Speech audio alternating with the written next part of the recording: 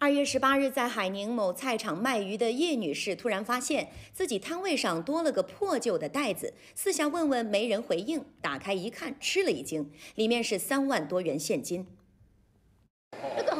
袋子，然后呢，你拿上来让我看，那我打开来看一下，全是现金，三万多现金呢。三万多块现金。哎，那我看见一张小票，写的是中国银行。叶女士是下午三点左右发现这个袋子的。面对一叠叠的百元大钞，叶女士心想失主一定很着急，便急忙将袋子交到菜场办公室。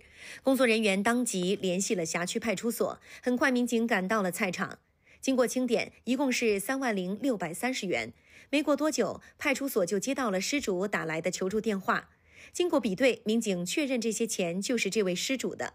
为了让失主尽快拿回钱，民警当即开车给他送了过去。我拿出来啊！嗯，我钞票拿出来啊！空拿出来你就丢了这个这个这一点点。那侬自家看一看对付啊！哦。那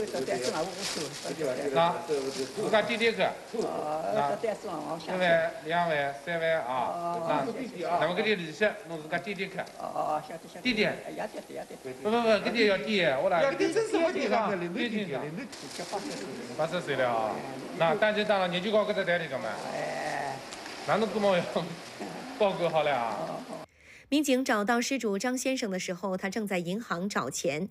看到民警把丢失的现金一分不少拿了回来，张先生长长的舒了一口气。他说自己平时一个人居住，这笔钱是自己的养老金。